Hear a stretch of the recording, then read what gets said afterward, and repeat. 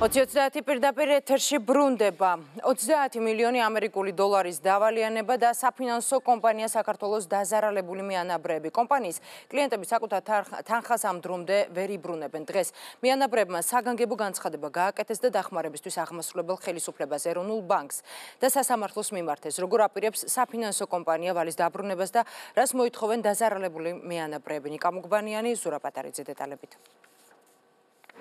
საფინანსო კომპანია საქართველოს მუშაობა განაახლა, თუმცა დაზარალებული მიანაბრეები კომპანიისგან საკუთარი თანხის დაბრუნებას კვლავაც ელოდებიან. დასაპირებს კომპანია მიანაბრეებს ხელმძღვანელობისგან პასუხი ამ დრომდე არ მოусმენიათ.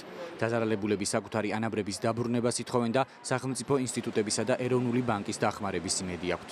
საქართველოს მართლ პარტიას ქართულ ოცნებას, ქვეყნის საკანონმდებლო და აღმასრულებელ ხელისუფლებას, პრემიერ-მინისტრ ბატონ გიორგი კვირიკაშვილს და ყველა სამართალდამცავ ორგანოს მიმართავთ საქართველოს სახელმწიფოს მოქალაქენი.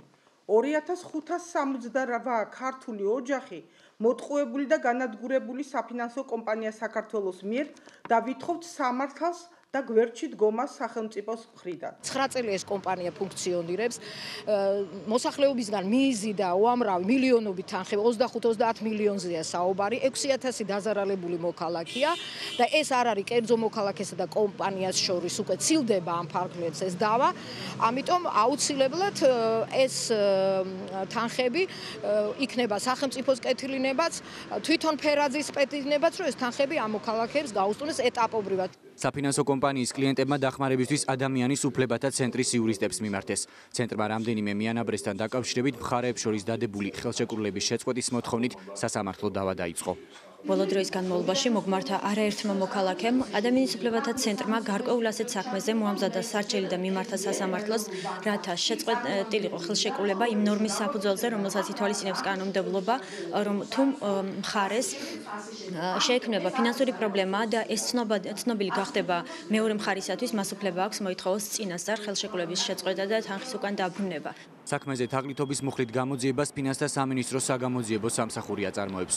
თუმცა გამოძიების მიმდინარეობაზე ჯერჯერობით არ საუბრობენ. დაზარალებული მიანაბრეების საინიციატივო ჯგუფი უკვე შეხვდა ბიზნეს ომბუდსმენს, რომელმაც სიტუაციაში გასარკვევად ერთკვირიანი ვადა ითხოვა. თავად საფინანსო კომპანიის წარმომადგენლები ტელეკამერებთან არ გამოჩენილან.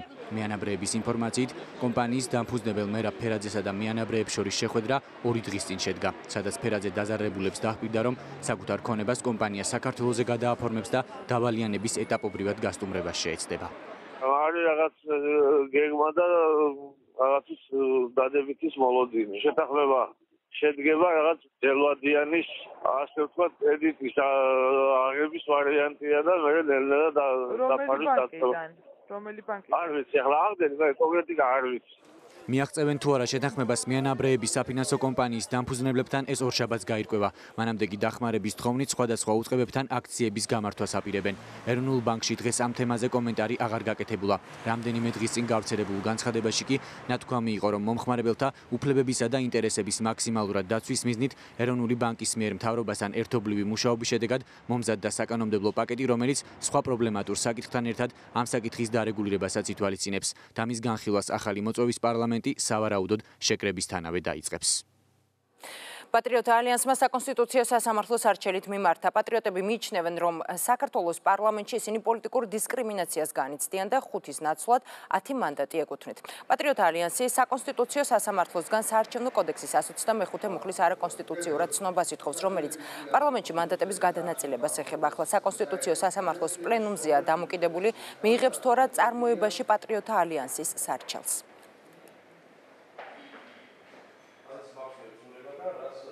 ჩვენ კონსტიტუციით გვეკუთვნოდა 6 მანდატი, ხოლო რომ არ ყოფილიყო ეს არაკონსტიტუციური ნორმა, რომელიც გვიკრძალავს ჩვენ გაუნაწილებელი მანდატების განაწილებაში მონაწილეობას, დამატებით უნდა მიგვიღო 10 მანდატი, 4 მანდატი. სულ ჯამში შეადგენდა 10 მანდატს. ჩვენი არგუმენტები ძირითადად მიმართული იყო იქეთ, რომ აღნიშნული ნორმა არ არის არაკონსტიტუციური, რომის წინააღმდეგობაში არ მოდის მეთოთხმეტე მუხტა, რომელიც დისკრიმინაციულ მოპყრობას ითვალისწინებს კონკრეტული სუბიექტების მიმართ, ვინაიდან მიგვაჩნია, რომ ამ შემთხვევაში საარჩევნო სუბიექტები არ ექცევიან სამართლებრივად თანაბარ მდგომარეობაში კონკრეტული სამართალ ურთიერთობის მიმართ. ნატო საქართველოს სწავლება 2016 მასშტაბური სწავლება, რომელშიც ნატოს 11 წევრი და 2 არაწევრი ქვეყანა იღებს მონაწილეობას 10 დღე გაგრძელდება. ნატო საქართველოს სწავლების ისტორიაში პირველად წვრთნებს საქართველოს შეერაღებული ძალების გენერალური შტაბი ხელმძღვანელობს. სწავლების დაწყებას პირველი გამოხმაურებები უკვე მოხვა, რას მოიცავს ნატო საქართველოს წვრთნები 2016 დეტალები ნახეთ ლიკა ალილიშვილის რეპორტაჟში.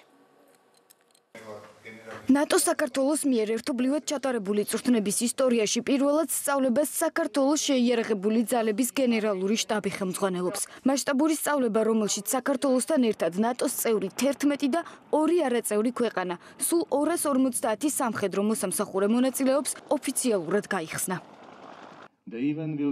ნატო საქართველოს სწავლება საუკეთესო შესაძლებლობაა ურთიერთთავსებადობის გაზრდისა და შემდგომში საქართველოს კონტრიბუციისთვის საერთაშორისო მისიებში ავღანეთსა თუ სხვაგან. ნატო საქართველოს არსებითი პაკეტის ფარგლებში პირველად ხდება, როდესაც წვრთნისა და შეფასების ერთობლივი ცენტრი მრავალეროვნულ სწავლებას მასპინძლობს, რათა მხარი დაუჭიროს საქართველოს თავდაცვის ტრანსფორმაციას და ქართულ მხარეს უნიკალური წვრთნისა და განვითარების შესაძლებლობები მისცეს. სწავლების მიზანია საქართველოს ნატოს წევრი და პარტნიორი ქვეყნების შეიარაღებული ძალების წარმომადგენლების პროფესიული ცოდნისა და უნარჩვევების განვითარება, რათა სამხედროებმა საერთაშორისო სწავლებებისა და ოპერაციების დროს ერთობლივად და შეთანხმებულად იმოქმედონ. სწავლების დასრულების შემდეგ საქართველოს შეიარაღებული ძალები კიდევ უფრო თავსებადი იქნება ნატოსთან და ჩვენი სამხედროები შეძლებენ ეფექტურად დაგეგმონ და კოორდინაცია გაუწიონ მრავალეუროვნული ქვედანაყოფებს კრიზისების მართვის ოპერაციების დროს. მნიშვნელოვანია ნატო საქართველოს სწავლების საქართველოსი ჩატარება იმიტომაც რომ ეს დასტურია ნატოს მხრიდან მტკიცე მხარდაჭერის საქართველოს მისწრაფებებისადმი. ნატო საქართველოს არსებითი პაკეტის ძირითადი ჯგუფის ლიდერი პოლკოვნიკი ტორსტენ კიოლერი ამბობს, რომ ეს სწავლება საქართველოს მხრიდან ნატოსკენ წინ გადადგმული კიდევ ერთი მნიშვნელოვანი ნაბიჯია. ნატო სათაო ოფისი არის ძალიან დიდი შტაბის ქვეშ იმით, რომ საქართველოს არსებითი პაკეტის ყველა პუნქტს ზედმიწევნით ახორციელებს. ჩვენ გავაგზავნებთ საქართველოს მხარდაჭერას ნატო საქართველოს წვნები 2016 დიდ გამოცდილებას შეესწენ საქართველოს შეიარაღებულ ძალებს, რომ უფრო თავსებადი იყოს ნატოს ძალებთან. ეს არის პირველი წვნა, როდესაც საქართველოს შეიარაღებული ძალები მთავარია დაგეგმვაში. ნატოს გენერალური მდივნის სპეციალური წარმომადგენელი სამხრეთ კავკასიასა და ცენტრალურ აზიაში მიიჩნევს, რომ ნატო საქართველოს თანამშრომლობაში ეს ერთ-ერთი საკვანძო მოვლენაა.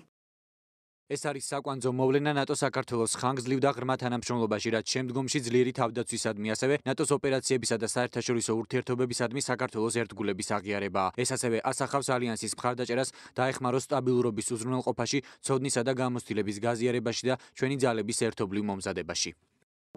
ნატო საქართველოს სწავლება 2016 რიგით მეორე სწავლებაა, რომელიც ნატო საქართველოს არსებითი პაკეტის ფარგლებში ხორციელდება. პირველი წვრთნა Agile Spirit 2015 ამერიკის შეერთებული შტატებისა და საქართველოს ყოველწლიურ ორმხრივ სწავლებაზე იყო დაფუძნებული, რომელმაც წელს უკვე ფორმატი შეიცვალა და ალიანსის წევრი და პარტნიორი ქვეყნების სამხედრო მოსამსახურეების მონაწილეობით ნატო საქართველოს არსებითი პაკეტის ფარგლებში ტარდება.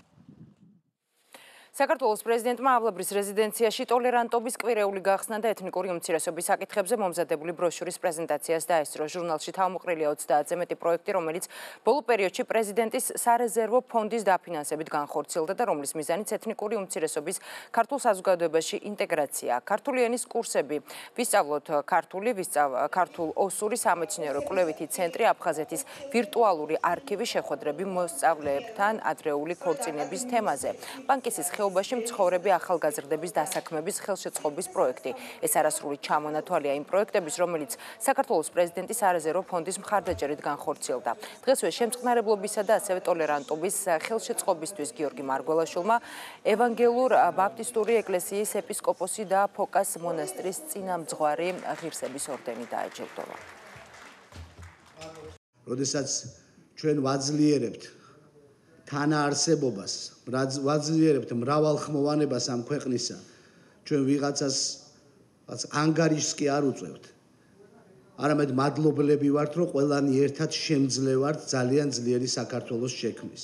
დაჯილდოება როგორც წესი ძალიან სასიამოვნოა და იმედი მაქვს რომ მხოლოდ დაჯილდოებით არ შემოიფარგლება სახელმწიფოს მზაობა ტოლერანტობის კულტურის ამაღლების საქმეში ბოლო პროექტი, რომელიც პრეზიდენტის ადმინისტრაციის მხარდაჭერით განხორციელდა, ეს იყო პანკისელი ხალხის ინტეგრირება საქართველოში. პანკის ხეობის შესახებ არის სტერეოტიპები თქვენ მოგეხსენებათ, სხვადასხვა შეხედულებები აქვს და ჩვენ ვეცადეთ რომ მიგვეტანა ახლოს ამ ჩვენი თანამემამულეებისთვის რომ ჩვენ ვიყავით ძალიან ისეთი სტუმართმოყვარე და ძალიან მშვიდობიანი ხალხი.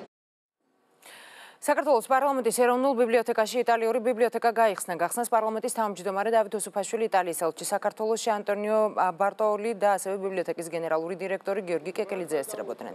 ქართულ იტალიური ლექსიკონის შემდგენლის სტეფანო პაულინის სახელობის ბიბლიოთეკა მესამე корпуსის ლიბერთი დარბაზში განთავსდა და იტალიის ელჩო მას 5000-მდე წიგნი გადასცა.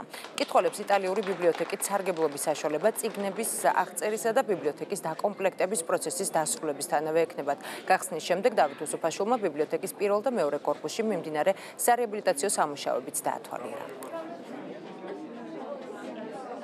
დღევანდელი ბიბლიოთეკის გახსნა არის ბევრი თვალსაზრისით მნიშვნელოვანი. ერთი მხრივ ეს არის უშუალოდ იტალიური ენით და კულტურით დაინტერესებული ადამიანებისთვის შესაბამისი სივრცე და მეორეც ეს არის ქვეყნებს შორის კულტურული ურთიერთობების კარგი ხიდი და მნიშვნელოვანი ნაწილი, რომელზეც დარწმუნებული ვარ, რომ კიდევ ბევრი საინტერესო ამბავი აიგება. ზოგადად წიგს და ბიბლიოთეკას და ამ ტიპის დაწესებულებას სჭირდება მეტი ყურადღება სახელმწიფოს მხრიდან. ჩვენ ყველაფერს ვაკეთებდით რომ პარლამენტს მის ფარველობაში მყოფი ეროვნული ბიბლიოთეკა სათანადოდ დაეფასებინა და დარწმუნებული ვარ პარლამენტის შემდგომი ახალი შემოადგენლობა მისი ხელმძღვანელები გააგრძელებენ ამ პროექტებს და ბოლომდე მიიყვანენ. იტალიის საელჩო მხარს უჭერს იტალიური ენისა და ლიტერატურის პოპულარიზაციას, ვინაიდან ვფიქრობთ, რომ სწორედ ეს არის გასაღები ორ ქვეყანას შორის ურთიერთობის განვითარებაში. ეს ბიბლიოთეკა მხოლოდ დასაწყისია. ჩვენ საჩუქრად გადავეცით ეროვნულ ბიბლიოთეკას 5000-მდე წიგნი და ვფიქრობთ, რომ წიგნების რაოდენობაც გაიზრდება და ბიბლიოთეკაც გაფართოვდება. საქართველოს მორაგბეთა ეროვნული ნაკრები ნოემბერში სამ ტესტ მატჩს გამართავს. პირველ შეხვედრაში, რომელიც შაბათს ლოკომოტივზე გამართება, ქართული ბორჯღალოსნები იაპონიის ნაკრებს დაუპირისპირდებიან და გამარჯვების შემთხვევაში მსოფლიო რეიტინგში პირველად მეათე ადგილს დაიკავებენ. მორაგბეების ღია ვარჯიშს რეზი ხუციშვილი ესწრებოდა მომდენო კვირას კი საქართველოს ნაკრები უკვე თბილისში სამოას მიიღებს დასკვნით. შეხვედრას კი 26 ნოემბერს შოტლანდიის ნაკრების წინააღმდეგ სტუმართ გამართავს. საქართველოს მორაგბეთა ეროვნული ნაკრები ნოემბრის ტესტ მატჩებისთვის ემზადება. ნაკრები მზადებას შევარდენის სარაგბო ბაზაზე გადის. ტესტების პირველ მატჩს ქართველი ბორჯღალოსნები იაპონიის ნაკრების წინააღმდეგ გამართავენ. იმის მიუხედავად, რომ იაპონიის ნაკრების შემადგენლობაში ბევრი ახალი მოთამაშეა გამოძახებული, ქართველი მორაგბეები მეტოქის სიძლიერეზე საუბრობენ. გამარჯვების შემთხვევაში საქართველოს ნაკრები ქართული რაგბის ისტორიაში პირველად მსოფლიო რაგბის რეიტინგის ათეულში შევა. ჩვენ რა თქმა უნდა უნდა დავამარცხოთ ჩვენ მონდომების და ჩვენ ფიზიკური ძალის ხარჯზე. უნდა ვითამაშოთ როგორც არასდროს ვითამაშია ეს. გამარჯვების შემთხვევაში ისტორიულ მეათე ადგილს მივახლოვდებით კი არა შევალთ დიდი დიდი იმედი არის ათეულში და ეს იქნება რა ჩვენთვის ძალიან დიდი წარმატება. ტესტების პირველ მატჩს მილტონ ჰეიგის გუნდი შაბათს თბილისში მიხეილ მესხის სახელობის ლოკომოტივის სტადიონზე გამართავს. საქართველოს და იაპონიის ნაკრებები ერთმანეთისთვის საკმაოდ უხერხული მეტოქეები არიან. ბოლო შეხვედრაში, სადაც ქართველი და იაპონელი მორაგბეები ერთმანეთს მსოფლიო ჩემპიონატის დაწყებამდე დაუპირისპირდნენ, გამარჯვება იაპონელებს დარჩა. ბოლო მსოფლიო თასის შემდეგ იაპონიასთან ჩვენი შეხვედრა ალბათ ძალიან საინტერესოა, მაყურებელი. უუთმენოდელი სამ შეხვედრას ჩვენ ოპტიმალური შემადგენლობით ვართ ეროვნული ნაკრები, ვემზადებით კარგად, ყველაფერი კარგად მიდის ჯერჯერობით. ნახო დიდი იმედი მაქვს, რომ წარმატებით დამთავრდება ეს თამაში. ვფიქრობთ, რომ იგივე სიძლიერის გუნდია, რაც სოფლიო თასზე იყო და ну ძალიან სანახაობრივი და კარგი საინტერესო თამაში იქნება. საქართველოს ეროვნული ნაკრები მატჩისთვის ოპტიმალური შემადგენლობით ემზადება ნაკრებს მცირეხნიანი პაუზის შემდეგ ერთ-ერთი ლიდერი ვიტო კოლელიშვილი დაუბრუნდა. საბრძოლო განწყობა ვემზადებით ყველა თამაშისთვის. ჩვენ ძალიან მნიშვნელოვანია. იაპონიასთან ბევრჯერ გვაქვს ნათამაშები ძალიან სწრაფ თამაშობენ დისციპლინირებული გუნდია. ნახოთ ძალიან მაგარი თამაში იქნება იმიტომ რომ ბოლო წუთამდე იბრძვიან საქართველოსა და იაპონიას შორის დაგეგმილი ტესტ მატჩი ნოემბრის ტესტების ფარგლებში ერთადერთი მატჩი არ იქნება. ქართველ ბორჯგალოსნებს მომავალ კვირაში შერკინება და საკუთარი შესაძლებლობების გამოვლენა სამოას ნაკრებთან მოუწევს. ტესტების ბოლო შეხვედრას კი ქართველი ბორჯგალოსნები შოტლანდიის ნაკრებთან 26 ნოემბერს გამართავენ. ახლა რეკლამა რეკლამის შემდეგ ამერიკის შეერთებული შტატების 45 პრეზიდენტი რა შეიცვლება საქართველოს ამერიკის ურთიერთობაში საგარეო საქმეთა მინისტრის პირველი მოადგილე დავით ზალკარიანი უპასუხებს ჩვენ შეკითხვებს და გველოდეთ რა გამოწვევის წინაშე დგას მსოფლიო და როგორი იქნება ამერიკის შეერთებული შტატების საგარეო პოლიტიკა მომავალი 4 წლის განმავლობაში. გადაიხედება თუ არა მსოფლიოს პოლიტიკური დღის წესრიგი და მოსალოდნელია თუ არა ამერიკა-რუსეთ შორის ურთიერთობის დათბობა. რას უნდა ველოდეთ ახალი ადმინისტრაციისგან და როგორი ამერიკა საქართველოს ურთიერთობის პერსპექტივა? საგარეო საქმეთა მინისტრის მოადგილე დავით ზალკალიანი 2030-ში.